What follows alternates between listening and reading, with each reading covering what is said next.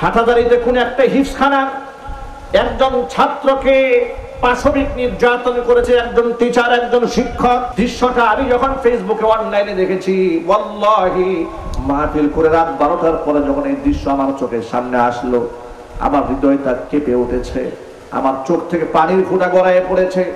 আমি অবাক হয়েছি, একজন উস্তাদ, তার আট বছরের একটা শিশু বাচ্চাকে এভাবে বেধরক পিটাতে পারেন মারতে পারেন এটা কোনোভাবে মেনে নেওয়া যায় না। বিসমিল্লাহির রহমানির রহিম। আসসালামু আলাইকুম। রহমতুল্লাহি সাতকানিয়াবাসী ওনারা কেন শোন আলহামদুলিল্লাহ। الحمد لله نحمده ونستعينه ونستغفره ونعوذ بالله من شرور أنفسنا ومن سيئات أعمالنا من يهده الله فلا مضل له ومن يضلله فلا هادي له. ونشهد أن لا إله إلا الله وحده لا شريك له. ونشهد أن سيدنا ونبينا وحبيبنا وشفيعنا ومولانا محمدا عبده ورسوله الذي أرسله بالحق بشيرا ونذيرا وداعيا إلى الله بإذنه وسراجا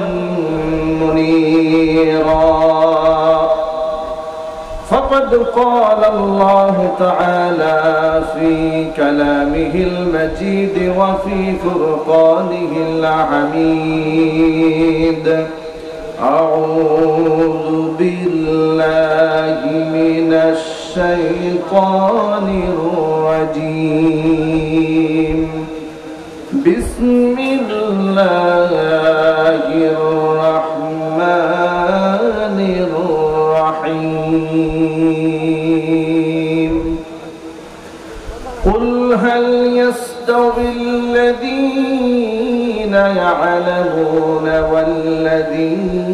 والذين لا يعلمون.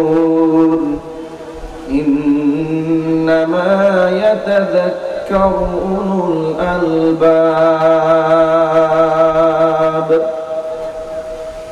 وقال النبي صلى الله عليه وسلم فضل العالم على العابد كفضلي على أدناكم.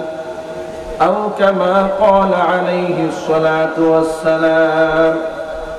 وقال تعالى في شان حبيبه ومحبوبه آمرا ومخبرا إن الله وملائكته يصلون على النبي. يا أيها الذين آمنوا صلوا عليه وسلموا تسليما. اللهم صل على محمد وعلى آل محمد كما صليت على إبراهيم وعلى آل إبراهيم. إنك حميد مجيد. اللهم بارك على محمد وعلى آل محمد كما باركت على إبراهيم وعلى آل إبراهيم. إنك حميد مجيد. মহাব্বতে প্রাণ খুলে সকলে একটু জিকির করুন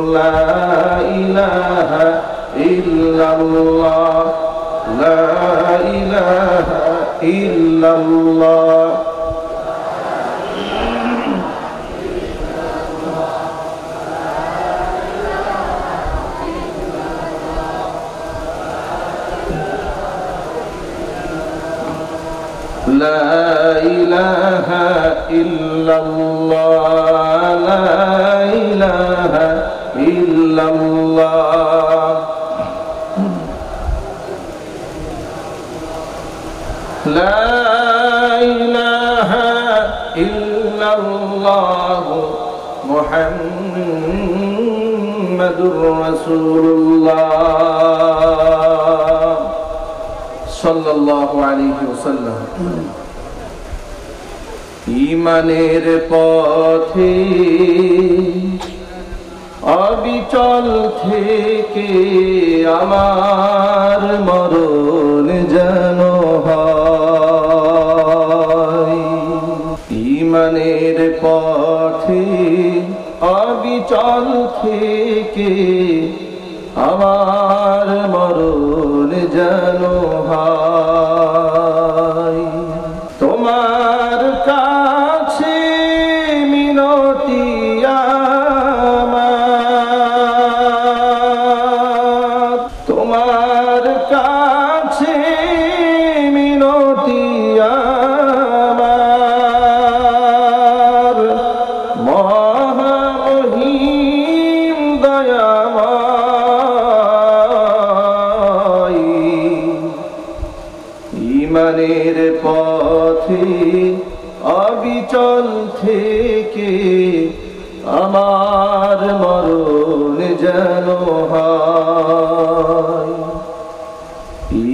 ইমানের পথে অবিচল থেকে আমার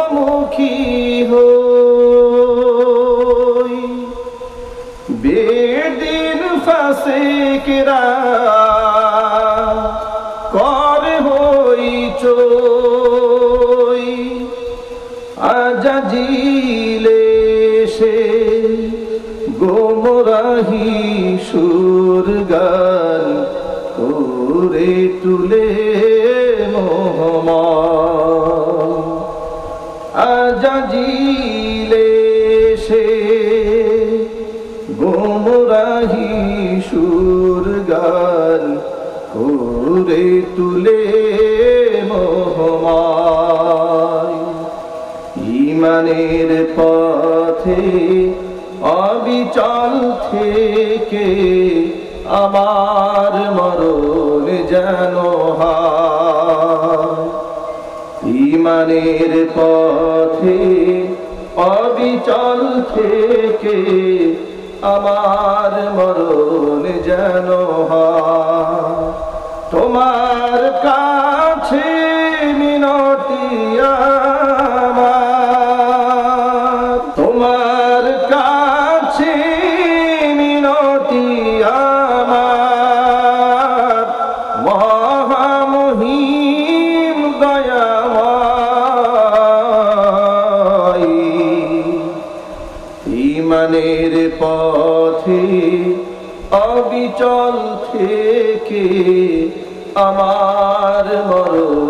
যেন ইমানের পথে অবিচল থেকে আমার মরণ যেন ইমানের পথে অবিচল থেকে আমার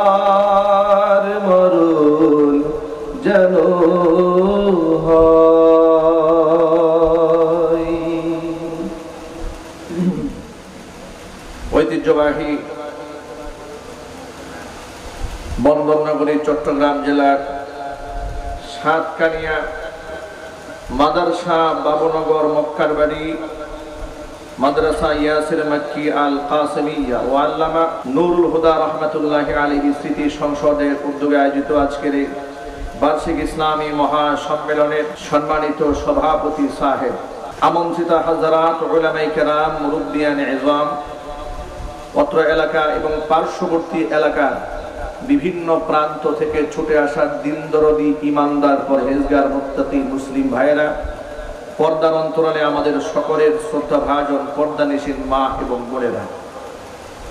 আজকে এই ইসলামী মহাসম্মেলনের সম্মানিত আহ্বায়ক বাংলাদেশের নক্ষত্র সমতুল্য এবং সাংসদ, আল্লামা ডক্টর আবু রেজা মোহাম্মদ নিজামুদ্দিন নদবী হাফিজাহুল্লাহ বারাকাল্লাহ ফি হায়াতি।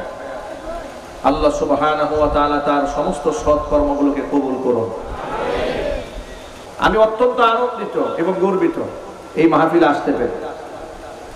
আমাকে এই মাহফিলের জন্য সরাসরি দাওয়াত দিয়েছেন এই মাহফিলের আহ্বায়ক যিনি ডক্টর আবু রেজা মোহাম্মদ নিজামুদ্দিন নদী, হাফিজাহুল্লাহ, যার ব্যাপারে তার ইল এবং জ্ঞানের গভীরতা সম্পর্কে আমার এতটা আইডিয়া ছিল না।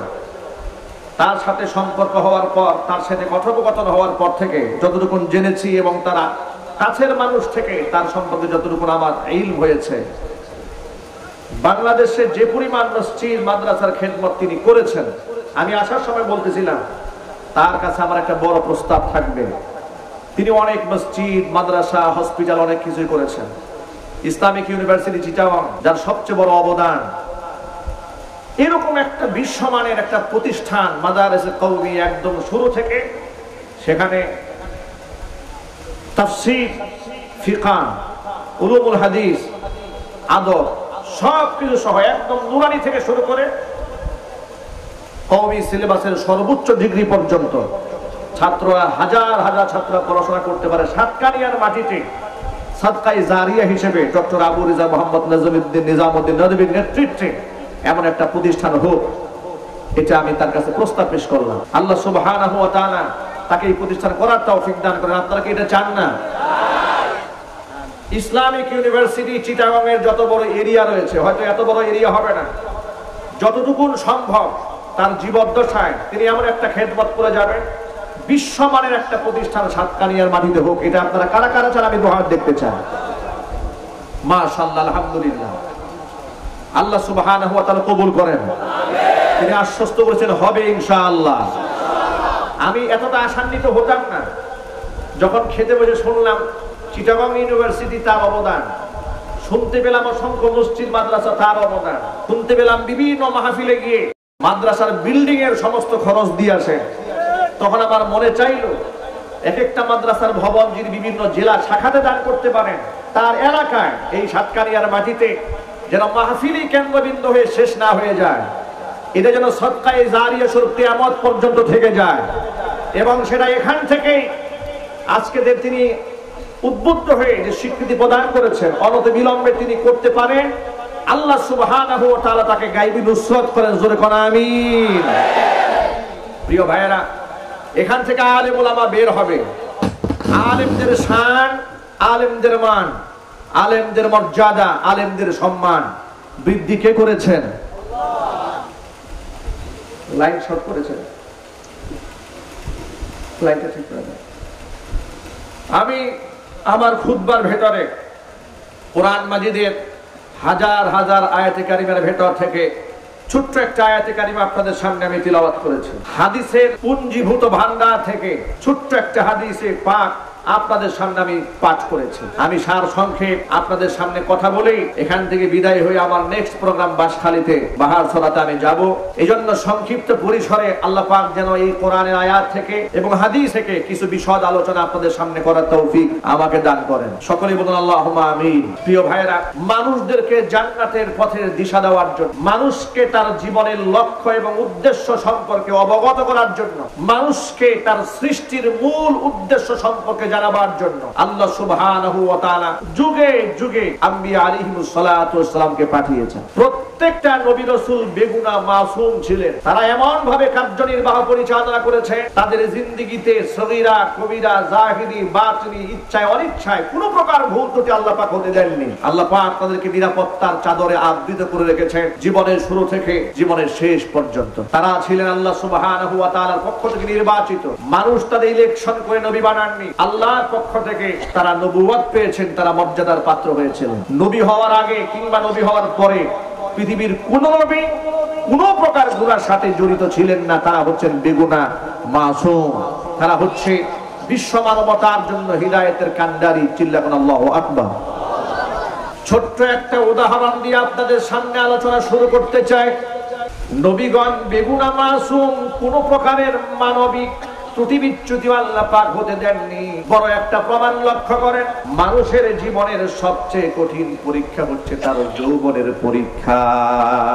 যৌবনের পরীক্ষাটা আগুনের উপর হেঁটে যাওয়ার চেয়েও বড় কঠিন পরীক্ষা। যৌবনের পরীক্ষা দুনিয়ার সমস্ত কঠিন পরীক্ষার চেয়েও সুকঠিন। কেয়ামতের মাঠে পাঁচটা প্রশ্নের সম্মুখীন প্রত্যেকটা মানুষকে হতে হবে। আল্লাহ নবী সাল্লাল্লাহু আলাইহি সাল্লাম বলেছেন, লা ইয়াজালু কদাম ইবনি আদম হাত্তা ইউসআল আন খামসিন ইয়াউমাল কিয়ামাহ কিয়ামতের মাঠে পাঁচটা প্রশ্নের জবাব যতক্ষণ পর্যন্ত বান্দা দিতে না পারবে, এক কদম পর্যন্ত আদম সন্তান হাসরের ময়দান থেকে পা সরাতে পারবে না। এক নাম্বার প্রশ্ন হচ্ছে, আন উমরিহি ফিমা আফনা? জীবনটাকে কোন কাজে ব্যয় করেছে? আল্লাহর কাছে জবাব দিতে হবে। দু নাম্বার প্রশ্ন হচ্ছে, জীবনের সবচেয়ে মূল্যবান সব সময় হচ্ছে তার যৌবনকাল আল্লাহ নবী বলেন, ওয়ান সাবাবিহি ফিমা আবলা। বান্দা কোন আল্লাহর কাছে জবাব দিতে হবে? ওয়ান মালিহি সম্পদের ব্যাপারে প্রশ্ন করা হবে, কোন উৎস থেকে সম্পদ উপার্জন করেছে? চার নাম্বার হচ্ছে উপার্জিত সম্পদ কোন কাজে ব্যয় করেছে? পাঁচ নাম্বার প্রশ্ন হচ্ছে ওয়ামাদা আমিলা ফিমা আলিমা। বান্দা যতটুকু জানতে পেরেছে যতটুকু জেনেছে ইলিম অনুযায়ী বান্দা কতটুকু আমল করেছে? পাঁচটা প্রশ্নের মধ্যে জীবন সম্পর্কে প্রশ্ন করা হবে, যৌবন কাল সম্পর্কে স্পেশাল প্রশ্ন করা হবে। অথচ জীবনের একটা অংশ হয়তো যৌবন কাল, কিন্তু যৌবনের ব্যাপারে আল্লাহ আলাদা প্রশ্ন করবেন। এর মানেই হচ্ছে যৌবন কালের মূল্য আল্লাহর কাছে অনেক বেশি। ঠিক কিনা? ভাইরা, আপনারা সকলে এক বাক্যে জবাব দেয়া বলেন, আমার জীবনের মালিক কে? আরও জোরে বলতে হবে, মালিক কে? আল্লাহর দেওয়া জান, আল্লাহর দেওয়া মাল। আল্লাহর দেওয়া এই যৌবনটা কোন কাজে ব্যয় করলাম? যৌবনের কঠিন বড় পরীক্ষা।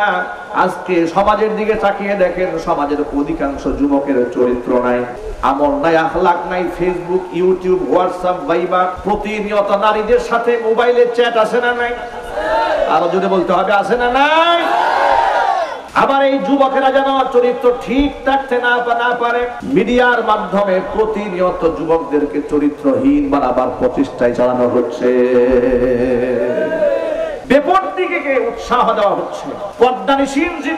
সেকেলে কিংবা মধ্যযুগীয় কালচার কিংবা কালচার হিসেবে টেলিভিশনে বিভিন্ন অনুষ্ঠানে তথাকথিত বুদ্ধিজীবীরা পর্দাকে উপহাসের সাথে উল্লেখ করছে।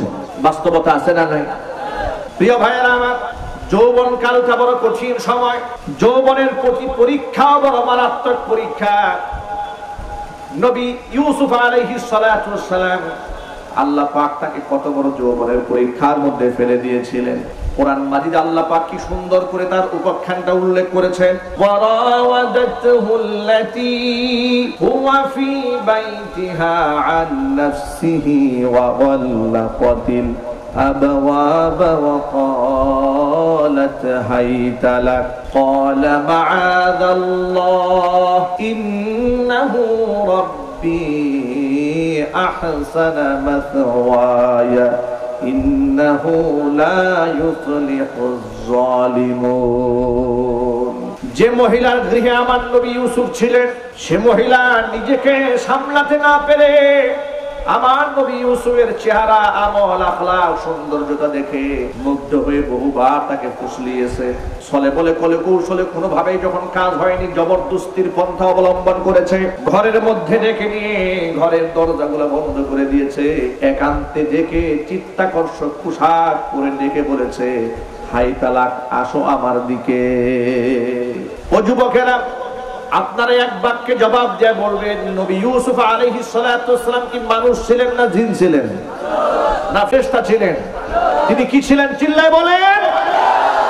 মানুষ হওয়ার কারণে রক্ত, মাংস, ঘাম প্রত্যেকটা মানুষের শরীরে থাকে। তামান্না, কামনা, বাসনা, মানবিক চাহিদা, রাগ, অভিমান, গুসা, আঘাত দিলে ব্যথা পাওয়া, কেটে গেলে রক্ত বের হয়ে যাওয়া।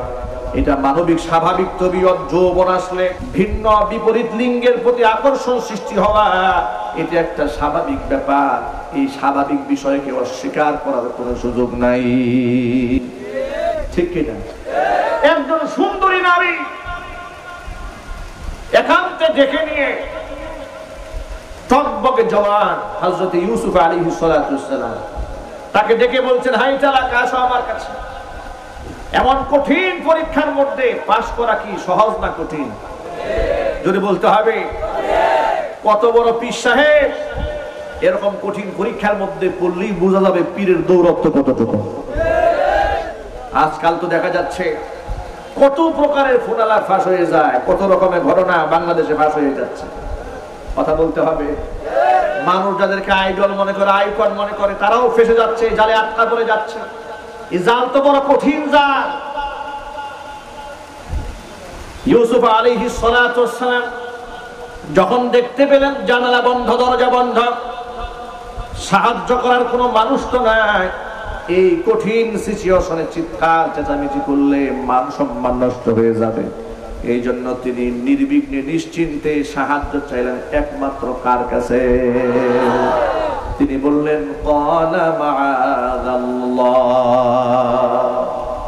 আমি আল্লাহর কাছে আশ্রয় প্রার্থনা করছি। তিনি আমার রব, তিনি আমার সুন্দর থাকা খাবার সুবন্দোবস্ত করে দিয়েছেন। আমার ভাইয়ের আমাকে হত্যা করতে চেয়েছিল। তিনি আমাকে সেখান থেকে রক্ষা করে মিশরের বাদশার ঘরের মধ্যে থাকা খাবার সুবন্দোবস্ত করে দিয়েছেন। আমি তো এই জুলুম করতে পারি না, জিনা করতে পারি না। জিনা করলে তো আমি জালেম হয়ে গেলাম। আর জালেম কখনোই সফল কাম হতে পারে না। আল্লাহ রাব্বুল আলামিন এই আয়াতটা বলার সাথে সাথেই পরেই বলছেন, ওয়ালাকাদ হাম্মাত বিহি ওয়া হাম্মা বিহা। লাউলা আর বুরহানা রাব্বিহি মহিলা তো দৃঢ় সংকল্প করেই চূড়ান্ত সিদ্ধান্ত নিয়ে ফেলেছিল ইউসুফকে আজকে কবজার মধ্যে নিয়ে আসবে। আল্লাহ বলেন ওয়াহাম্মা বিহা। ইউসুফও তার জালে আটকা পড়ে যেত। লাউলা আর রাব্বিহি। যদি তার রব আমি আল্লাহর নিদর্শন চোখের সামনে দেখতে না পেতে জোরে বলেন, সুবহানাল্লাহ। আল্লাহ আল্লাহ বলছেন ইউসুফ হয়ে যাবে আটকা পড়ে যেত। তার মনের মধ্যেও সংকল্প চলে এসে গিয়েছিল প্রায় রব আমি আল্লাহর নিদর্শন তার চোখের সামনে দেখতে না পেত। আমি তাকে এভাবে হেফাজত করেছি। হেফাজত কে করেছেন জোরে বলেন তো আপনারা? আমি এই ঘটনা দিয়ে আপনাদের সামনে ইউসুফ আলী সালামের লম্বা কাহিনী শোনাতে চাইনি। আমি এই ঘটনা থেকে আপনাদেরকে ছোট্ট একটা মেসেজ দিতে চেয়েছি যে মানুষ হিসেবে ইউসুফ আলী ইসলাম যৌবনের কঠিন পরীক্ষায় ফেল করেও ফেলতে পারতেন। কিন্তু আল্লাহ বলছেন, আমি তাকে আমার নিদর্শন দেখিয়ে তাকে আমি হেফাজত করেছি। আল্লাহ বলেন। এভাবে দুনিয়ার প্রত্যেকটা নবী রসুলকে আল্লাহ হেফাজত করেছেন। দায়িত্বে কেউ অবহেলা করেন নাই। যার কারণে কেয়ামতের মাঠে নবী রসুলদেরকে যখন আল্লাহ পাক তাদের দায়িত্বের ব্যাপারে জিজ্ঞেস করবে সমস্ত আম্বিয়া আলিহিমুসালাম সঠিক জবাব দেবেন, আমরা আমাদের দায়িত্ব পালন করেছি। আপনারা এক বাক্যে আমার প্রশ্নের জবাব দিয়ে বলবেন, সর্বশেষ নবী নবী জুনা মোহাম্মদ রসুল্লাহ সাল্লাহ আলী সাল্লাম তিনি তার নবুয়তের রেসালাতের দায়িত্ব পূর্ণাঙ্গ করতে পেরেছেন না কিছু বাকি আছে? আওয়াজ কি ক্লিয়ার হয় না এদিকে ভিতরে কি আওয়াজ স্পষ্ট বোঝা যায়? মনে হয় না। আওয়াজ একটু কম হচ্ছে। এই মাইকের অপারেটর। অপারেটর কোথায়? প্যান্ডেলের ভিতরে একটু সাউন্ড দেন। কথা ঠিক মতো বোঝা যাচ্ছে না। আওয়াজ পরিষ্কার করেন। আওয়াজ পরিষ্কার হলে মানুষ বুঝতে সহজ হবে। তাদের চোখের ভাষা আমি বুঝতে পারি। এখন আপনারা আমার প্রশ্নের জবাব দেবেন আগের চেয়ে আওয়াজটা পরিষ্কার হয়েছে না? কিছুটা হয়েছে। আপনারা এক বাক্যে জবাব দিয়ে বলেন, নবীজুনা মোহাম্মদ রসুল্লাহ সাল্লাল্লাহু আলাইহি সাল্লাম নবুয়াত এবং রিসালাতের দায়িত্ব পূর্ণাঙ্গ করেছেন না কিছু বাকি আছে এখনও? না কিছু গোপন রাখছেন? আজকে সমাজের কিছু লোকেরা বলে, কালাম হলো নব্বই হাজার, তিরিশ হাজার জাহিরি, ষাট হাজার বাতিনি। এর বাতিনি মানেটা কি গোপন কথা? গোপন কথা এরা ছাড়া কেউ জানে না। আমার প্রশ্ন হচ্ছে, এত বড় কোরআন, এত বড় হাদিসের ভান্ডার হাদিসেও নাই, কোরআনে নাই। তুমি পাইলা কোথায়?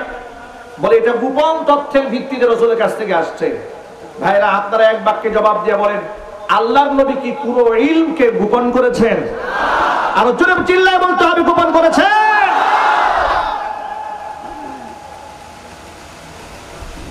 এই বিশ্বাস যে ব্যক্তি করবে, সে সাথে সাথে কাফের হয়ে যাবে।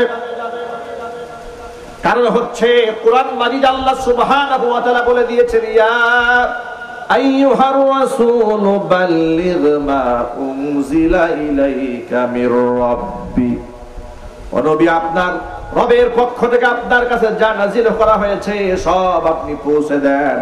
যদি আপনি পৌঁছে না দেন, তাহলে রিসালাতের দায়িত্ব আপনি পূর্ণ করলেন না। আপনি যখন পুঙ্খানুপুঙ্খানু ভাবে পৌঁছে দেবেন সমাজের কিছু লোকেরা আপনার দুশ্মন হয়ে যাবে। ভয়ের কোনো কারণ নাই। নাস। মানুষের কাছ থেকে রক্ষা করব আমি আল্লাহ। হাদিসের মধ্যে আল্লাহর নবী স্ত্রীদের সাথে কীভাবে শুয়েছেন, কীভাবে গোসল করেছেন, এত সূক্ষ্ম সূক্ষ্ম বিষয় স্পষ্ট উল্লেখ করে দেওয়া হয়েছে। কোন জিনিসে গোপন করা হয়নি। যার কারণে বিদায় হজের ভাষণে আল্লাহর হাবিব যখন সোয়া লক্ষ সাহাবীর সামনে দাঁড়িয়েছিলেন, তখন আল্লাহর হাবিব সোয়া লক্ষ সাহাবীকে ডাক দিয়ে জিজ্ঞেস করেছিলেন ও তোমরা আমার প্রশ্নের জবাব দিয়ে স্বীকৃতি দিয়া বলো, আমি কি আমার দায়িত্ব তোমাদের কাছে পৌঁছে দিয়েছি? জবাব দিয়েছেন হে আল্লাহ রাসূল, অবশ্যই আপনি দায়িত্ব আপনি পূর্ণ করেছেন। আমরা তার সাক্ষী। সোয়া লক্ষ সাহাবিকে রসুল সাক্ষী বানালেন। এবার আল্লাহর হাবিব শাহাদাত আঙ্গুলি আসমানের দিকে ইঙ্গিত করে আল্লাহ পাককে বলছেন আল্লাহ হুম্মা ফাসহাদ আল্লাহুম্মা ফাসহাদ আল্লাহুম্মা ফাসহাদ আল্লাহ আমার অজস্র উম্মতের সাক্ষী দিয়েছে, আমি আমার রিসালাতের দায়িত্বকে পূর্ণ করে দিয়েছি। আল্লাহ তুমিও সাক্ষী হয়ে যাও, আমি আমার দায়িত্ব পূর্ণ করেছি। আমি এই ঘটনা থেকে আপনাদের কাছে যে মেসেজটা দিতে চেয়েছি এভাবে করে পৃথিবীর সমস্ত নবী রসুলগণ তার আপন আপন দায়িত্ব পূর্ণ করলেন। কেউ কিছু ফাঁক ফুকুর রেখে যান নাই আনকমপ্লিট কোনো কাজ রেখে যাননি। যখন আল্লাহর হাবিব সাল্লাল্লাহু ইসলাম দায়িত্ব পূর্ণ করে ফেললেন, নবীজি দুনিয়া থেকে বিদায় হয়ে গেলেন। এখন এই গুরু দায়িত্ব, বিশাল বড় দায়িত্ব, গোটা বিশ্বব্যাপী কারা পালন করবে? আল্লাহ নবী বলে গেলেন, ইন্নামাল উলামাউ ওয়ারাসাতুল আম্বিয়া। وإن الأنبياء لم يورثوا دينارا ولا درهما بل ورثوا العلم أو كما قال عليه الصلاة والسلام ভাইরা আমার আল্লাহ নবী তো দেড় হাজার বছর আগে বিদায় হয়ে গেলেন এখন এই গুরু দায়িত্বটা থেমে থাকবে না একের পর এক তো দুনিয়াতে নবী এসেছে আর তারা দায়িত্ব পালন করেছেন এখন আপনারা বলেন, আমাদের পরে, আমাদের নবীর পরে কি আর কোনো নবী আছে? জবাবটা আপনারা সবাই দেন নাই। আমি এরকম জবাব শুনতে চাই না। এই জবাবটা বর্তমানে উচ্চ আওয়াজে হওয়া উচিত।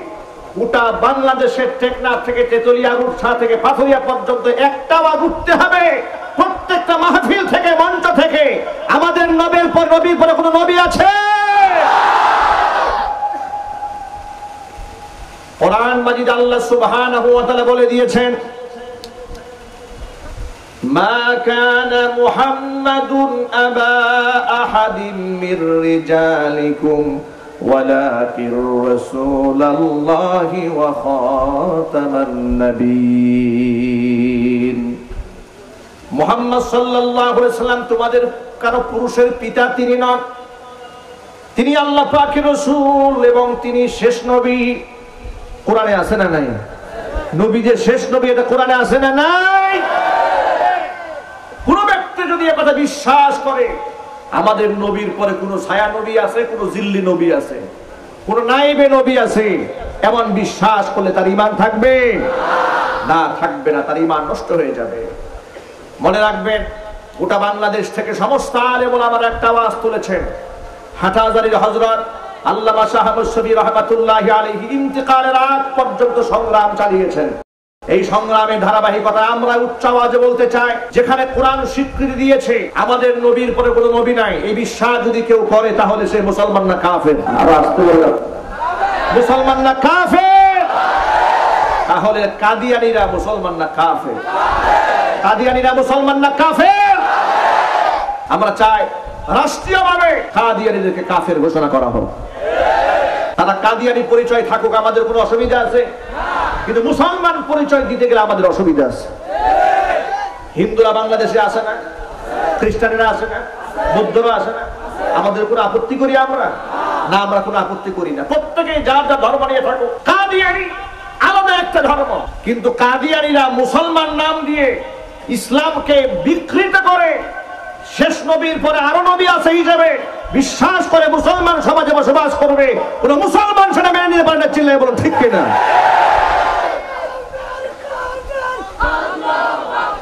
প্রিয় ভাইরা আমার, কথা সংক্ষেপে বলতে হবে। সময় আমার হাতে খুবই কম। আমরা এ আওয়াজ এখান থেকে দিয়ে যেতে চাই। কাদিয়ানিরা অমুসলিম, কাদিয়ানিরা কাফের। তারা সুকৌশলে মানুষের ইমান হরণ করার চেষ্টা চালিয়ে যাচ্ছে। আল্লাহ তাআলা এই চক্রান্ত থেকে মানুষদেরকে হেফাজত করে জোরে কোন আমি প্রশ্ন হলো, নবী রাসূল তো আর দুনিয়াতে আসবে না, নাকি আসবে? আর কেউ আসবে? এখন এই গুরু দায়িত্বটা অর্পিত হয়েছে ওলামাদের উপরে। আল্লাহর নবী বললেন, নিশ্চয় ওলামা ইকরাম হচ্ছেন নবীগণের ওয়ারিস নবীগণের? ওয়ারিস উত্তরাধিকার। উত্তরাধিকার সূত্রে নবীগণের কাছ থেকে আলেমরা পাবেন তা কি?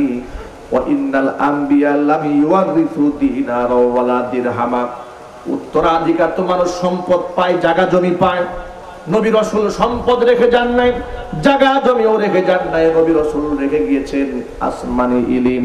ওই আসমানে ইলমের উত্তরাধিকার হচ্ছেন ওলামাই কেরাম। ওলামাদের শান এবং মান এত বেশি, কোরআন মাজি জানলা পাক বলেন, নবীজি আপনি বলে দেন উল হাল ইয়াস্তাবিল্লাযীনা ইয়ালামুনা? والذين لا يعلمون إنما يتذكر أولو الألباب যারা জানে যাদের ইলম আছে আর যাদের ইলম নাই তারা কোনোদিন সমান হতে পারে না এই সিদ্ধান্ত দিয়ে দিলেন আল্লাহ কে দিলেন জোরে বলেন আল্লাহ পাক ভিন্ন আয়াতের মধ্যে বলেন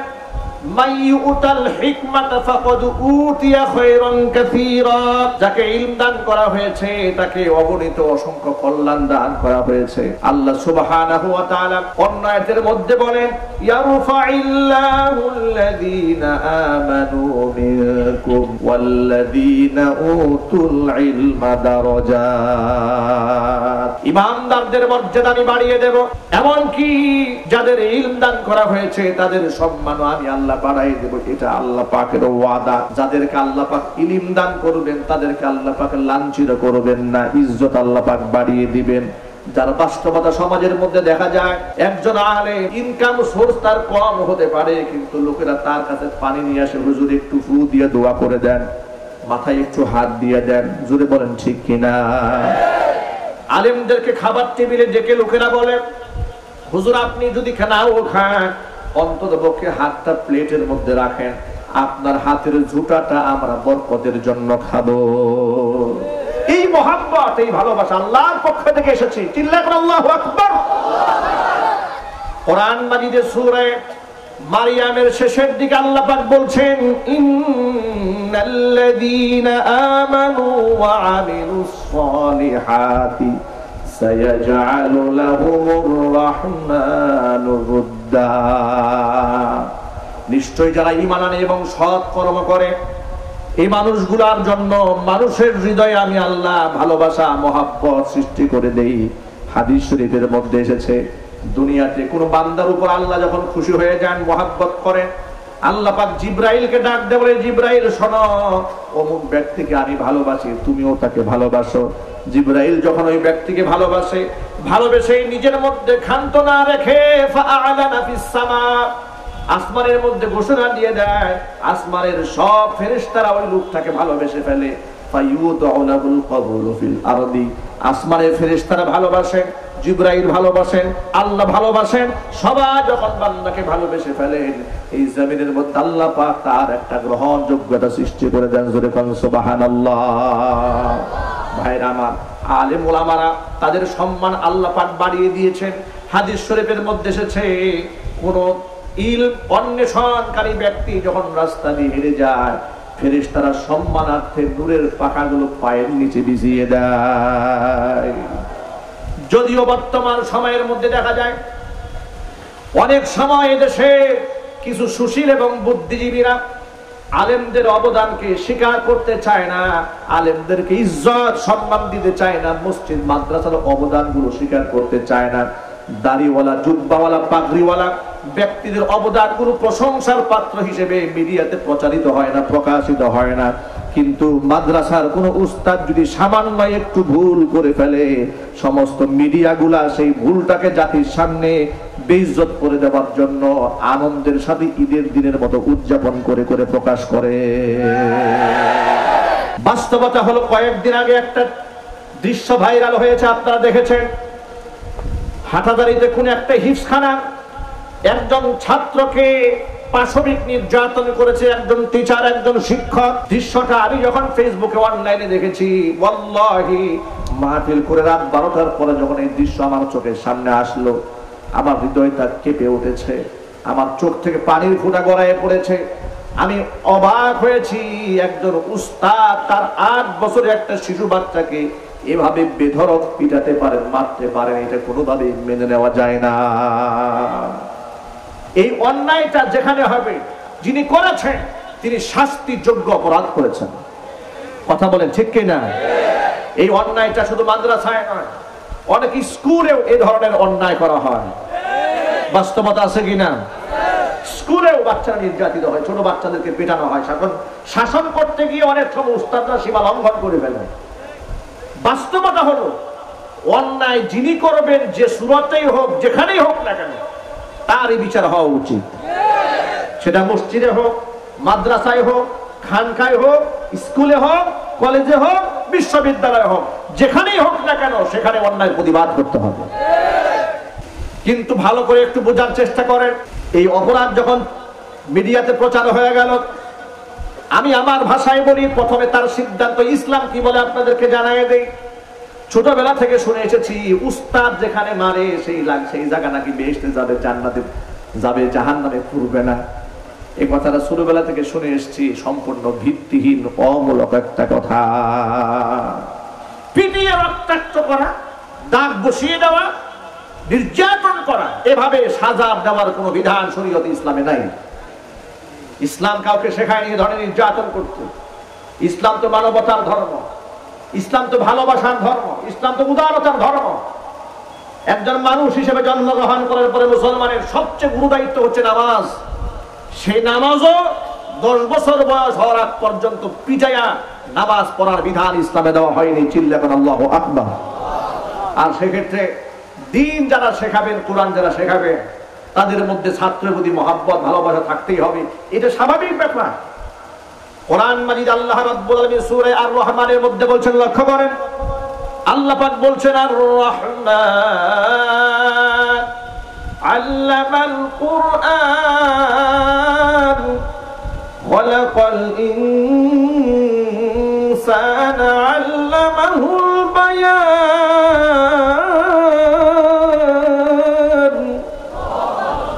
ভাইরা আমার লক্ষ্য করেন আল্লাহ বলছেন আর রহমান ও আল্লাহ কোরআন।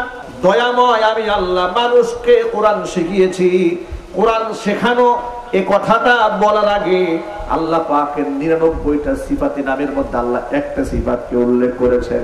সেই সিফাত হচ্ছে আর রহমান ইন্না লিল্লাহি তিসআতাও ওয়া তিসঈনা ইসমান। মান আহসাহা দাখালাল জান্নাহ। আও কামা ক্বালা আলাইহি হুজুর বলেছেন, আল্লাহ পাকের 99টা নাম রয়েছে। ওই 99 নামের ভিতরে 99 নাম যে ব্যক্তি মুখস্থ করবে, হিফাজত করবে, আল্লাহ পাক তাকে জান্নাতে দাখিল করাইয়া দিবে ভাইরা আমার, শত শত এই এতগুলো নিরানব্বইটা নাম এতগুলো নামের মধ্যে আল্লাহ আর রহমান এই শব্দটা উল্লেখ করলেন বলেছেন, মানুষকে আল্লাহ কোরআন শিখিয়ে সবচেয়ে বড় দয়া করেছে সুতরাং যিনি কোরআন শেখাবেন, তিনি তো সর্বোচ্চ সম্মানিত ব্যক্তি। হাদিসের ভাষায় নবীজি বলেন কুরআনা আল্লামা। যেই ব্যক্তি নিজে কোরআন শেখে এবং অপরকে কোরআন শেখায়, সেই ব্যক্তি হচ্ছে সম্মানিত ব্যক্তি সর্বোচ্চ ব্যক্তি। সুতরাং সর্বোচ্চ সম্মানিত ব্যক্তি যিনি তার মধ্যে ছাত্রের প্রতি দয়া থাকতে হবে, মহাব্বত থাকতে হবে, ভালোবাসা থাকতে হবে। মহাব্বত, দয়া, ভালোবাসা ছাড়া কোনো ব্যক্তি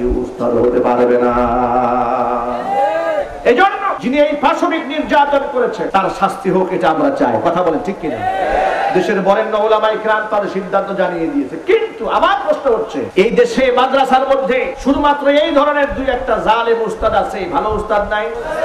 কথা আপনারা যেভাবে বলেন, আমার তো কথা বলতে কষ্ট হয়। ভালো উস্তাদ নাই বাংলাদেশে মাদ্রাসাগুলোতে? আমি আমার সচক্ষে দেখেছি, যশোরে এক জায়গায় মাহফিল করতে গেলাম, সেখানে গিয়ে দেখলাম একটা এতিমখানা। এতিমখানার যিনি মাদ্রাসার মোহতামিম দায়িত্বশীল, বাচ্চাদেরকে নিজের হাতে গোসল করা বাচ্চাদেরকে নিজের হাতে জামা পরিয়ে দেন, জামা কাপড় কেচে দেন। অনেক সময় ছোট্ট ছোট্ট বাচ্চাদের মুখে খাবার তুলে দেন। এই দৃশ্যগুলো আমি আমার নিজের চোখে দেখেছি। মাদ্রাসার যদি ভুল করে, এটা যদি ভাইরাল করতে মনে চায়, প্রতিবাদ করতে মনে চায় আমাদের করতে চায়, তো আলেমদের যে ভালো ভালো আছে, সেগুলো কি তুলে ধরতে কষ্ট লাগে? কথা বলতে হবে। এই দেশ এবং জাতির জন্য আলেমদের অবদান নাই। সবাই স্বীকৃতি দিয়ে বলুন, আলেমদের অবদান নাই। আমি তো আমার ভাষায় এভাবে বলি। ওলামাই গ্রাম জানান, পরকালে সম্মানিত, দুনিয়াতেও সম্মানিত, দেশের জন্য কল্যাণকর, জাতির জন্য কল্যাণকর। তার বাস্তব উদাহরণ হলো, এ দেশ যখন, বাংলাদেশ যখন কোনো ক্লান্তি, লগ্ন অতিক্রম করেছে, কোন সবচেয়ে কঠিন মুহূর্ত যখন বাংলাদেশ অতিক্রম করেছে, জাতির পেছনে, জাতির জন্য সবচেয়ে বড় অবদান রেখেছেন এই জাতির ওলামাইকারা কয়েকটা উদাহরণ লক্ষ্য করেন। পার্শ্ববর্তী দেশ মিয়ানমারের রোহিঙ্গা মুসলমানেরা সেখানকার সরকার কর্তৃক নির্যাতিত হয়ে নিপীড়িত হয়ে যখন বাংলার মাটিতে আশ্রয় গ্রহণ করেছিল, সর্বপ্রথম গভর্নমেন্টের সহযোগিতা তাদের কাছে যাওয়ার আগে এদেশের আলেমরা চান্দা কালেকশন করে করে বস্তা ভর্তি টাকা, খাবার নিয়ে তাদের কাছে পৌঁছে দিয়েছিল। পাশে যে এমপি নাদবী সাহেবকে আপনারা দেখতে পান। রোহিঙ্গা মুসলমানদের পেছনে যে পরিমাণ বৈদেশিক অর্থ, তার নেতৃত্বে এসছে তার অবদানে। বাংলাদেশের সরকারও তার ফান্ড থেকে এত সহযোগিতা করতে পারেনি। বিদেশি মুদ্রা, তার নেতৃত্বে রোহিঙ্গাদের পেছনে যতগুলো বাংলার মাটিতে এসছে। আপনাদের সামনে তথ্যটা আজকে প্রকাশ করে গেলাম। ভালো করে মনে রাখেন, অনেক কিছু জানা দরকার। না বুঝে সমালোচনা করা যায়। অনেক সমালোচনা করা যায়, কিন্তু মানুষের জন্য ভালো কাজ করা এত সহজ নয়। আমি আমার নিজের কথা বলি, এই রোহিঙ্গা মুসলমানদের জন্য নিজস্ব অর্থায়ন থেকে মানুষের কাছ থেকে অর্থ গ্রহণ করে একদম টেকনাফের প্রান্ত সীমানায় গিয়া মানুষের পাশে আমরা দাঁড়িয়েছিলাম। এভাবে একজন দুজন লক্ষ লক্ষ আলেমরাই সাহায্যের জন্য হাত বাড়িয়েছিল, তাদেরকে সাহায্য করেছে। কিন্তু বাংলাদেশের একটা মিডিয়াতে আলেমদের এই অবদানকে প্রশংসার সাথে তুলে ধরা হয় নাই। এবার আসেন আর একটা ক্ষেত্রে। বাংলাদেশের উপকূলীয় অঞ্চলে যখন জলোচ্ছ্বাস হয়, ঘূর্ণিঝড় হয়, টর্নেডো হয় সিদর হয়, বন্যাত্ম মানুষের পাশে দাঁড়ায়, দাঁড়িয়েছে যে জাতি সবার আগে। সেই জনগোষ্ঠীর নাম হচ্ছে ওলামাইকারা। সবচেয়ে মারাত্মক গোটা বিশ্বময় করোনা ভাইরাসের মহামারীর মধ্যে যে পরিমাণ ক্রাইসিস মোমেন্ট এ দেশ অতিক্রম করেছে, পৃথিবীর মধ্যে কোন দেশে এই চেয়ে বেশি মারাত্মক সময় পার করে সে সময় এদেশের ওলামা ইকরাম কি অবদান রাখলেন জাতির জন্য? অর্থনৈতিক সাহায্য তো করেছেন। যখন তারা দেখতে পেলেন, করোনা রোগে আক্রান্ত হয়ে লাশের মিছিল চলছে হসপিটালে লাশের পর লাশ পড়ে আছে, লাশের কাছে কেউ যেতে চায় না। সেখানে কোনো প্রশাসনের লোক যেতে চায় না। অনেক ক্ষেত্রে বাধ্য হয়ে প্রশাসনে কিছু ভাইয়েরা দায়িত্ব পালন করেছেন, এটাকে অস্বীকার করা যাবে না। কিছু কিছু প্রশাসনের ভাইরাও সহযোগিতা করেছেন। আল্লাহ পাক তাদেরকে কবুল করেন জোরে করা আমি কিন্তু জাতীয় পর্যায়ে সবচেয়ে বড় ভূমিকা কাদের ছিল?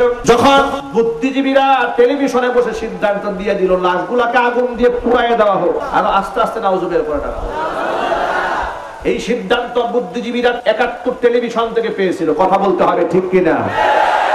তখন দেশের এই কঠিন দুরবস্থার মধ্যে জীবনের ঝুঁকি নিয়ে আলেমরা মাঠে নামলেন আর বললেন, মোটেও নয়, মুসলমানদের লাশের মূল্য আছে, এর সম্মান আছে, এর দাম আছে মর্যাদা আছে, এদের লাশ আগুনে পুরাতে দেওয়া যাবে না।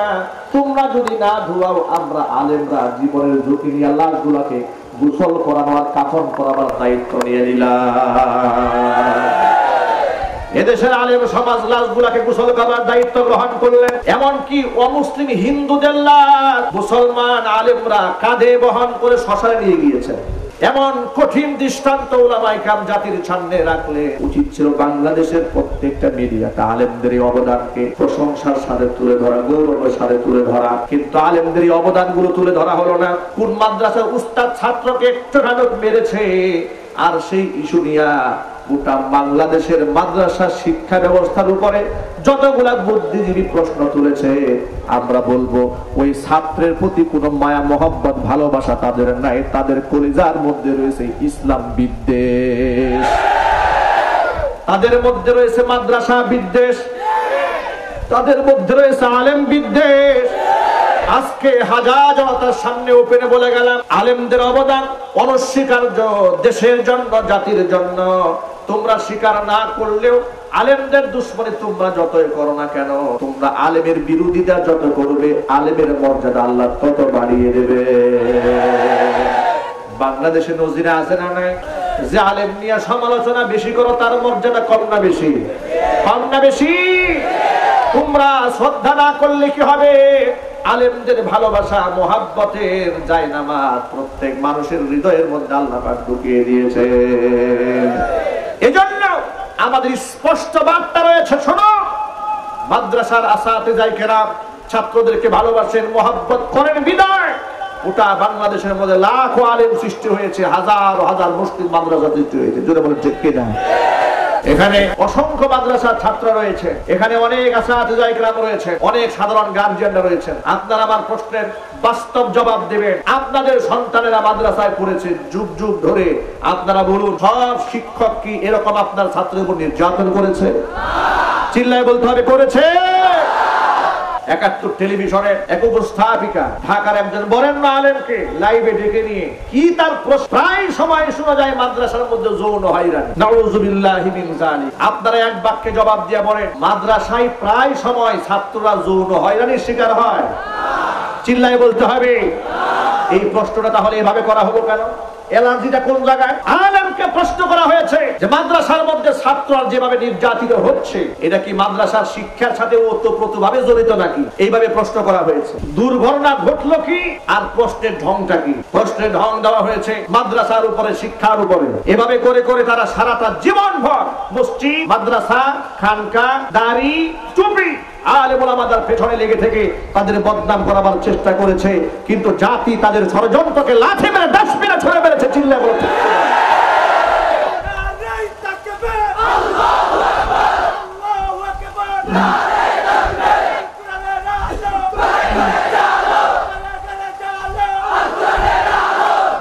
আমার প্রিয় ভাইয়েরা সম্মান তো আল্লাহর পক্ষ থেকে দেওয়া। সমালোচনা করে তোমরা কেউ কমাতে পারবে না। কারণ হচ্ছে, তুইজ্জু মান তাশাউ ওয়া তুযিল্লু মান তাশাউ ইজ্জত দেওয়ার মালিক কে? সবাই বলে, সম্মান দেওয়ার মালিক কে? আল্লাহ পাক যদি কাউকে সম্মানের সুউচ্চ শিখরে উঠাতে চান, বান্দা কি ষড়যন্ত্র করে কমাতে পারবে? আল্লাহ পাক যদি ইজ্জত দিতে চান, বান্দা কি বেইজ্জত করতে পারবে? আর আল্লাহ যদি কাউকে বেইজ্জত করতে চান, হাজার মানুষ মিলেও তাকে ইজ্জত দিতে পারবে না। তার আরেকটা উদাহরণ আপনাদের সামনে পেশ করি। কিছুদিন আগে বাংলাদেশে জনৈক এক মৌলবী, বাংলাদেশের বরেণ্য বরেণ্য আলেমদের নাম ধরে ধরে স্টেজে গালিগালাজ করেছে। আছে না নাই? নকশাবন্দি, এখন হয়েছে বাক্সবন্দি। কথা জোরে বলতে হবে। আল্লামা রহমাতুল্লাহ এত জঘন্য বিশ্রী ভাষায়, বিশ্রী বলেছে জালিক বাংলাদেশের কোটি মুসলমানের হৃদয়ের স্পন্দন আল্লামা জুনাইদ বাবুনগরী, হাফিজাহুল্লাহ, তার ব্যাপারে মারাত্মক কটূক্তি করেছে। শুধু তাই নয় এদেশের বরেণ্য বরেণ্য আরও অসংখ্য ওলামাই কামের ব্যাপারে বিশুদ্ধার করেছে। জুবাইর আহমদ আনসারি রহমাতুল্লাহ আলিহি ক্যান্সারে আক্রান্ত হয়েছিলেন এই রোগ নিয়ে যে তাল বাহানা লোকটা করেছে। এমনকি আহমদ সাহেব রহমাতুল্লাহ আলহির ব্যাপারে বলেছে, বুড়ো বয়সেও নাকি মহিলা দেখে তার জিবি লালা আসতো। আজকে জাতির সামনে সবচেয়ে ধিকৃত, সবচেয়ে নিন্দিত এই বস্তা বাক্সবন্দি কি চরিত্র দাঁড়িয়েছে? গোটা বাংলাদেশের মানুষ জেনেছে, তার লিস্টেড বউয়ের সংখ্যা রয়েছে পাঁচের উপরে। আর আনলিস্টেড কতগুলো আছে আল্লাহ তারা কেউ জানে না। কোন ব্যক্তির সমালোচনা বা তাফসির মাহফিল ইসলামী সম্মেলনের সার নয় কিন্তু আপনাদেরকে একটা সতর্ককারী মেসেজ দিতে চায়, কোরআনে ফেরাউনের সমালোচনা আছে না নাই? আবু জেহেলের সমালোচনা আছে না নাই? তাহলে সমালোচনা যদি একদম হারাম থাকে, তাহলে আল্লাহ আবু জেহেলের সমালোচনা করলেন কেন? এর দ্বারা মেসেজ বুঝতে হবে। কোনটা সমালোচনা আর কোনটা সতর্কবাণী? দুটার পার্থক্য বুঝতে হবে।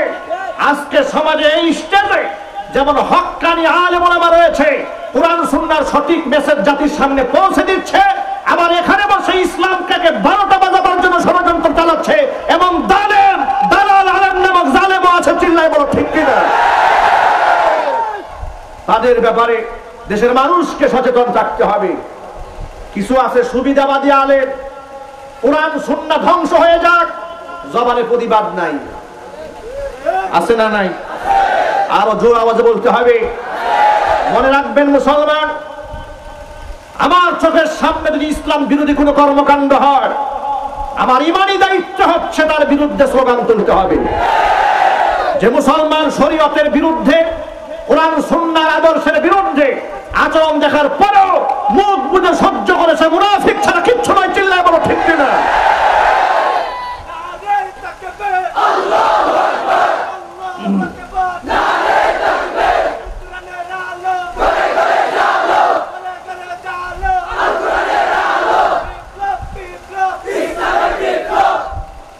এই জন্য সকল ভাইদেরকে বলি,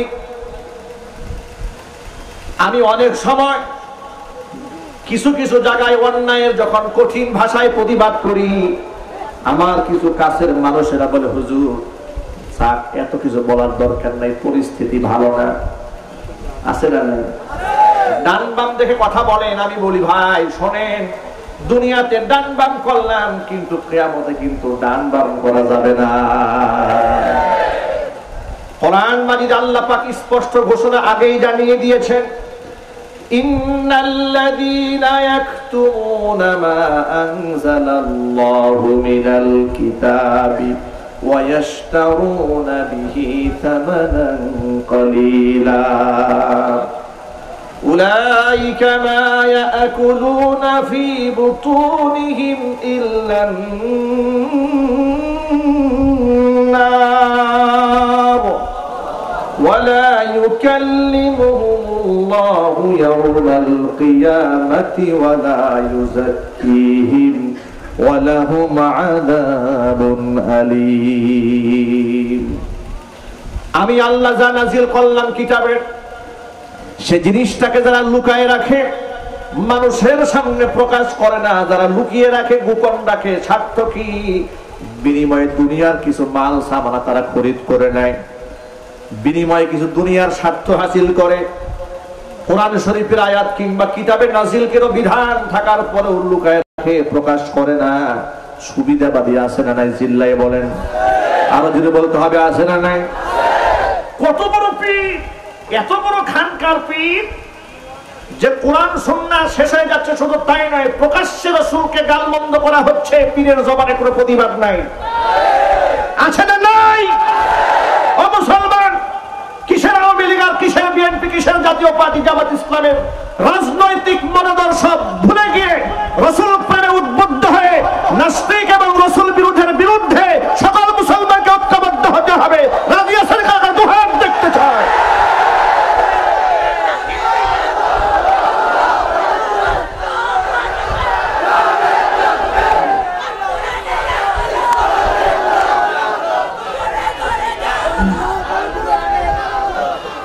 ও মুসলমান ভাইরা আমার, এত বড় বুজুর্গ, এত বড় বলি চোখের সামনে নবীকে গালি দেয়, তার ঘুম ভাঙে না, এমন পীর আছে না নাই? ওনার তাহাজ্জুদের ঘুম ভাঙে না, ওনার জামার আয়রন নষ্ট হয় না। প্রতিবাদ করতে গেলে খানকা বন্ধ হয়ে যাবে, হাদিয়া বন্ধ হয়ে যাবে, মনে রাখবে? নাস্তিক এবং বেঈমান যদি আমার মাদ্রাসায় ডোনেশন করে ডোনেশনটাকে লাথি মেরে ফেলে দিতে হবে।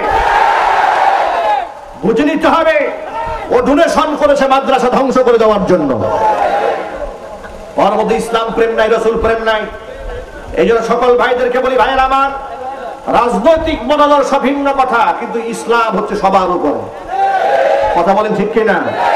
এখানে আওয়ামী লীগ, বিএনপি, জামাত, জাত- জাতীয় পার্টি টানা যাবে না। ইসলামটাকে সর্বোচ্চ সম্মানে স্থান দিতে হবে। কোন ব্যক্তি, কোন নেতা, কোন বুদ্ধিজীবী, কোন কবি, কোন সাংবাদিক, যেই হোক না কেন, ইসলামের বিরুদ্ধে যেই চক্রান্ত করবে, তার বিরুদ্ধে মুসলমান দাঁড়িয়ে যেতে হবে। এই শক্তি, সাহস, হিম্মত কি সবার সমস্ত জবাবদের আছে? না কোনো ভয় আছে? সকলে হাতে হাত রেখে কাঁধে কাঁধ মিলিয়ে ইসলামের পতাকা উড্ডীন করতে চান, কারা আমি দুহাত দেখতে চাই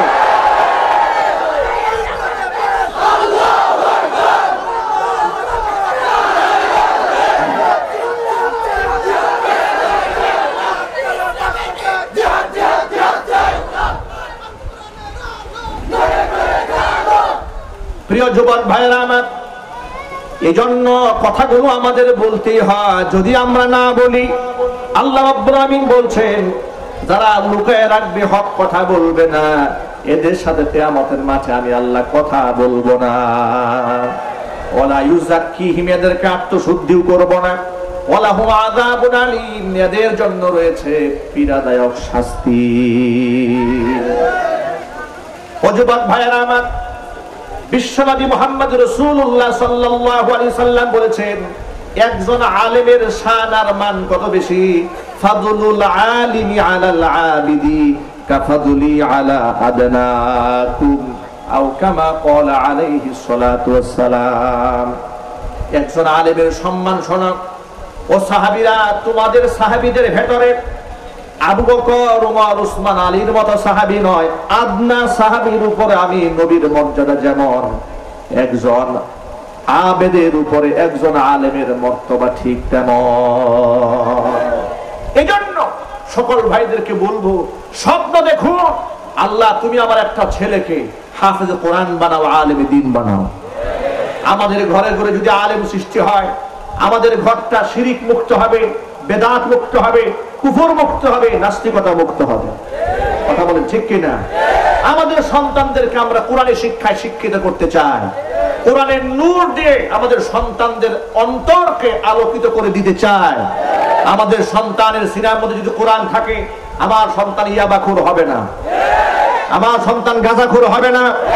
আমার সন্তান মাস্তান হবে না। ডাকাত হবে না। খুনি হবে না। চান্দাবাজ হবে না, চিল্লা বলো ঠিক কিনা? গোটা বাংলাদেশের সরকার যখন মাদক বিরোধী অভিযান চালিয়েছে গোটা বাংলাদেশ থেকে, তখন হার সেক্টর থেকে মাদক পাওয়া গেছে, কিন্তু মসজিদ, মাদ্রাসায় কোনো মাদক পাওয়া যায় না। নাকি ভুল বললাম আমি? সাতকানিয়ার কোনো মসজিদ, মাদ্রাসা থেকে মাদক পাওয়া গেছে? ইয়াবা? গাজা আফিম হেরোইন পাওয়া গেছে। তাহলে বোঝা গেল এখান থেকে একটা থিম গভর্নমেন্ট অ্যাপ্লাই করতে পারে সমাজে। সেই থিমটা কি? কোন থিমের কারণে মাদ্রাসা ছেলেরা ইয়াবা খায় না? আপনারা কেউ বুকে হাত দিয়ে বলতে পারবেন মাদ্রাসা ছেলেরা ইয়াবা সেবন করে? কেউ বলতে পারবেন মাদ্রাসা ছেলেরা গাঁজা খায়? কেউ বলতে পারবেন মাদ্রাসা ছেলেরা সিগারেট পান করে? ধূমপান করে? না বলতে পারবেন না। কারণ কারণ হচ্ছে মাদ্রাসার মধ্যে আমার সন্তানকে শেখানো হয় পবিত্রতা ইমানের অঙ্গ। সুবহানাল্লাহ বলবেন না। নাপাকি, অপবিত্রতা, এর কোন স্থান ইসলামে নাই। যদিও ইসলামের নামে সমাজে কিছু আউল বাউলেরা মাথার মধ্যে বড় বড় জটলা নিয়ে চল্লিশ দিন গোসল করে না, তারাও পীর হয়ে গেছে। হজরত বেলাল রাজি আল্লাহ ফজরের নামাজের পরে নবীজি জিজ্ঞেস করলেন, বেলাল, তুমি এমন কি আমল করো? গত রজনীতে জান্নাতের ভেতরে তোমার কদমের আওয়াজ আমি সামনে সামনে শুনতে পেয়েছি। আল্লাহর হাবিবকে হযরত বেলাল ডাক দিয়ে বলেন, নবীজি, ইয়া রাসূলুল্লাহ, ইস্তেঞ্জা যখন হয়ে যায় ওযু করি। আর তাহিয়াতুল ওযু দুই রাকাত নামাজ আদায় করি। নবী করিম সাল্লাল্লাহু আলাইহি সাল্লাম বললেন, তোমার এই পবিত্রতার আমলকে কবুল করে আল্লাহ পাক তোমার সম্মানের জায়গায় পৌঁছে দিয়েছে। কত শান আর কত মান। দেখতে একজন কালো মানুষ। বংশমর্যাদা অনেক উঁচা নাই টাকা পয়সাও নাই, কিন্তু সম্মান কত বেশি। একদিন আল্লাহর হাবিব সাহারি খাচ্ছেন। বেলাল রাদিয়াল্লাহু তাআলা আনহু হচ্ছেন হুজুরের মুয়াজ্জিন। হুজুর খাবার খাচ্ছিলেন সাহারি। এমন সময় বেলাল দৌড়ে আসলেন, এসে বলেন রাসূলুল্লাহ, আপনি এখনও খাবার খাচ্ছেন? ওয়াল্লাহি, আল্লাহর কসম করে বলছি, সূর্য উঠে যাবে তো, আজানের সময় তো হয়ে যাচ্ছে। কসম করে ফেলেছেন হযরত বেলাল। আল্লাহর হাবিব বলছেন ওই হাকিয়া বিলাল? এই বেলাল, তুমি কসম করলে কেন? কসম কাটলে কেন? আমি মোহাম্মদ ওয়াসাল্লাম খাবার খাচ্ছি, আমার সম্মানে আল্লাহ সূর্যকে জায়গায় ভেদ করে রাখবে। কিন্তু তুমি কসম কাটলে কেন? তুমি জানো না, তুমি বেলালের কসম আর সাধারণ মানুষের কসম এক নয়। পৃথিবীতে এমন কিছু মানুষ আছেন যারা কসম কাটলে যাদের কসমের সম্মান আল্লাহ পাক রক্ষা করা নিজের জন্য ওয়াজিব বানিয়ে নেন। তুমি হচ্ছ তাদের মধ্যে একজন যারা কসম কাটলে আল্লাহ পাক যার কসমকে পূর্ণ করে দেন। জুড়ে পান ভাইরা আমার আল্লাহর হাবিব বললেন, ও সাহাবীরা, তোমাদের মধ্যে যারা এরকম বরেণ্য সাহাবী, তাদের উপরে নবীর মর্যাদা যেমন তেমন নয়। একদম আদনা সাহাবীর উপরে, আমি নবীর মর্যাদা যেমন। একজন আলেমের মর্তবা, একজন সাধারণ আবেদের উপর ঠিক তেমন। এই জন্য আমরা স্বপ্ন দেখে আল্লাহ আমাদের সন্তানদেরকে হাফেজ বানাও, জোরে কোনা আমিন। আমাদের সন্তানদেরকে আলেম বানাও, জোরে কোনা আমিন। আপনার সন্তান doctor, engineer, lawyer, barrister, professor, আপনি বানাবার স্বপ্ন দেখতে পারেন, কোনো অসুবিধাই নাই। আল্লাহ পাক তো বান্দার উপর রহম করেছেন, নিয়ামত দান করেছেন। মানুষদের হাফেজ হতে মাত্র দু বছর, তিন বছর সময় লাগে। কি রহমত আল্লাহ করেছেন। হাফেজ হতে সময় লাগে কয় বছর? মাত্র দু বছর, তিন বছর সময় লাগে হাফেজ কোরআন হতে। আপনার সন্তানের সিনার মধ্যে কোরআনটা ঢুকিয়ে দিলেন, এরপর হাফেজ কোরআন আপনার ছেলেটা যদি আলেম নাও হয়, সে যদি ডাক্তার হয়, সে হাফেজ ডাক্তার, হাফেজ ইঞ্জিনিয়ার, হাফেজ একজন ব্যারিস্টার, হাফেজ একজন প্রফেসর, তাহলে এই লোকটা যত বড় শিক্ষিতই হোক না কেন বিশ্ববিদ্যালয়ে গিয়ে কি আল্লাহকে গালি দেবে? আর যদি বলতে হবে, গালি দেবে? গালি তো দেবেই না, তার জীবনটা হবে একটা পবিত্র জীবন। পবিত্র ধারায় সেই ব্যক্তি পরিচালিত হবে। সুতরাং আমরা যদি আমাদের এই সমাজটাকে সন্ত্রাস মুক্ত মাদক মুক্ত জেনা মুক্ত ধর্ষণ মুক্ত একটি শান্তির নিলয় যদি বানাতে চায়, শান্তির আবাসন যদি আমাদের সমাজের মধ্যে আমরা কায়েম করতে চাই, তাহলে আমাদের সন্তান মধ্যে কোরআন, সন্তানদের সিনার ভেতরে কোরআনের নূর ঢোকাতে হবে। সুতরাং আসুন, আমরা সকলে মিলে পণ গ্রহণ করি। কোরআন হচ্ছে আমার জীবন, কোরআন হচ্ছে আমার মরণ। এই কোরআন নিয়েই বাঁচতে চায় কোরআন নিয়েই মরতে চায় রাজি আছেন ইনশাআল্লাহ? দুহাত তুলেন আল্লাহকে দেখান। আল্লাহকে দেখান, আল্লাহ তাআলা আমাদের সকলকে ইসলামের জন্য, কোরআনের জন্য কবুল করেন। আজকের মাহফিলকে আল্লাহ তালা কবুল করেন। যতগুলো আলোচনা হয়েছে সবার আগে আমাকে, আমার ভাইদেরকে, মা বোনদেরকে সকলকে আল্লাহ তালা আমল করার তৌফিক দান করেন। হাত নামান, দেশের বরেণ্য উলামা ইকরাম আপনাদের সামনে আলোচনা পেশ করবেন। আপনার আলোচনা শেষ করে এখান থেকে বিদায় হবেন। আল্লাহ পাক তৌফিক দান করুন। বিশেষ করে হৃদয়ের গহীন থেকে আবারও শ্রদ্ধা নিবেদন করছি প্রফেসর ডক্টর আবু রেজা মোহাম্মদ নিজামুদ্দিন নদী হাফিজাহুল্লার জন্য, যিনি এত সুন্দর আয়োজন করেছেন। একজন এমপি হয়ে, সাংসদ হয়ে, কোরআনের বাগান যিনি সাজিয়েছেন কোরআনের মোহাব্বত যার দিল ভরা, কোরআনের মোহাব্বত দিয়ে যার গোটা দেহটা ভরা, আল্লাহ পাক কোরআনের জন্য তাকে কবুল করেন, জোরে কোন, আমিন। আর পিতা মাতার জিন্দগির গুনার খাতা আল্লাহ পাক তাকে মাফ করে দেন। আল্লাহ পাক যেন তাকে ক্ষমা করে, তাদেরকে ক্ষমা করে দেন এবং তিনি হকের পক্ষে, ইসলামের পক্ষে, তাওহীদের পক্ষে যতদিন থাকবে, আপনারাও তার সাথে থাকবেন ইনশাআল্লাহ। আল্লাহ রাব্বুল আলামিন কবুল করেন, আমিন। ওয়া আখিরু দাওয়ানা আনিল হামদুলিল্লাহি রাব্বিল আলামিন। আসসালামু আলাইকুম ওয়া রাহমাতুল্লাহি ওয়া বারাকাতুহু।